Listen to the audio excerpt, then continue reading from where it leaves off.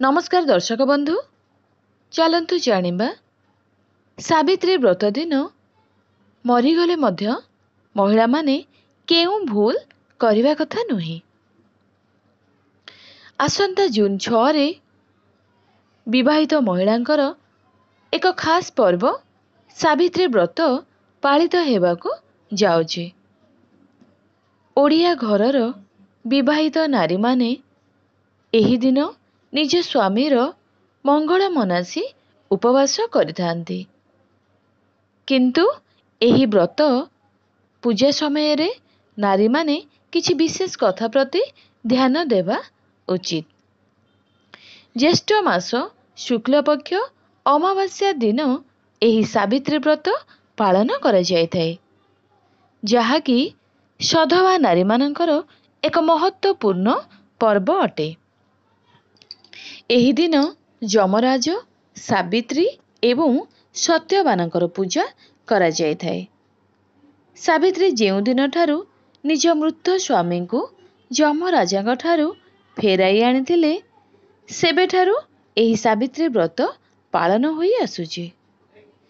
ଏହି ଦିନ ବିବାହିତ ମହିଳା ସକାଳୁ ଶୀଘ୍ର ଉଠି ନିତ୍ୟକର୍ମ ଶେଷ କରି ପୂଜା ପାଇଁ ଆବଶ୍ୟକୀୟ ଜିନିଷ ଯଥା ବ୍ରତ ନାଲି ରଙ୍ଗର ଶାଢ଼ୀ ଶଙ୍ଖା ଅଳତା ସିନ୍ଦୁର ପାନିଆ ଦର୍ପଣ ଦୁବ ବରକୋଳି ପତ୍ର ଇତ୍ୟାଦି ନେଇ ପୂଜା କରିବାକୁ ଯାଆନ୍ତି।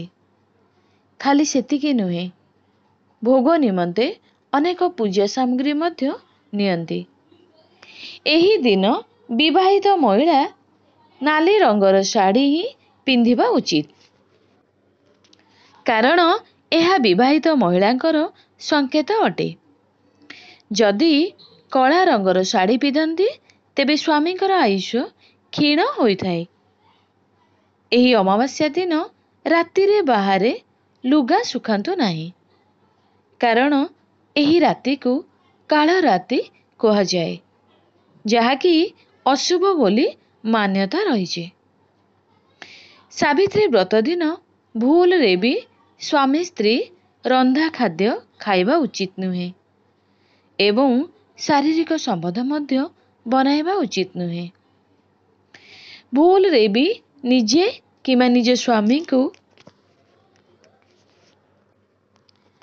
କିଛି ବି ଜିନିଷ କାଟିବାକୁ କିମ୍ବା ହାଣିବାକୁ ଦିଅନ୍ତୁ ନାହିଁ। ଯାହା ଆପଣ ଭୋଗ ଲଗାଇଥିବେ ସେଥିରୁ ଖାଇପାରିବେ। କିନ୍ତୁ ଭୁଲରେ ବି ରନ୍ଧା ଖାଦ୍ୟ ଖାଇବେ ନାହିଁ।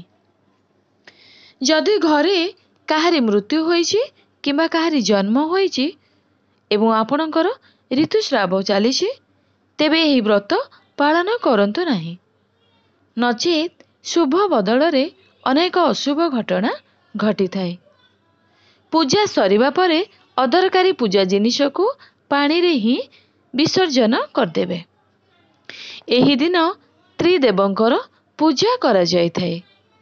ଏହି ଦିନ ଲକ୍ଷ୍ମୀ ପାର୍ବତୀ ଏବଂ ସାବିତ୍ରୀଙ୍କର ପୂଜା କରିପାରିବେ। ଏହି ସମସ୍ତ ଦେବତା ବରଗଛରେ ବାସ କରୁଥିବାରୁ ବରଗଛକୁ ମଧ୍ୟ ପୂଜା କରିବା ଜରୁରୀ ହୋଇଥାଏ।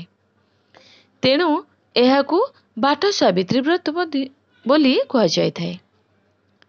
ଏହି ଦିନ ନିଜର ଶୃଙ୍ଗାର ଜିନିଷ ଛାଡ଼ି ମହିଳା ଅନ୍ୟ ଜିନିଷ ଦାନ କରିପାରିବେ। ଏହାଦ୍ୱାରା ଭଗବାନ ପ୍ରସନ୍ନ ହୁଅନ୍ତି। ଏହାଦ୍ୱାରା ଜୀବନରେ କେବେ ବି ଧନର ଅଭାବ ହେବ ନାହିଁ। ସାବିତ୍ରୀ ବ୍ରତଧାରୀଙ୍କୁ ଏହି ଦିନ ଲୁଣ ସେବନ କରିବା ଉଚିତ ନୁହେଁ।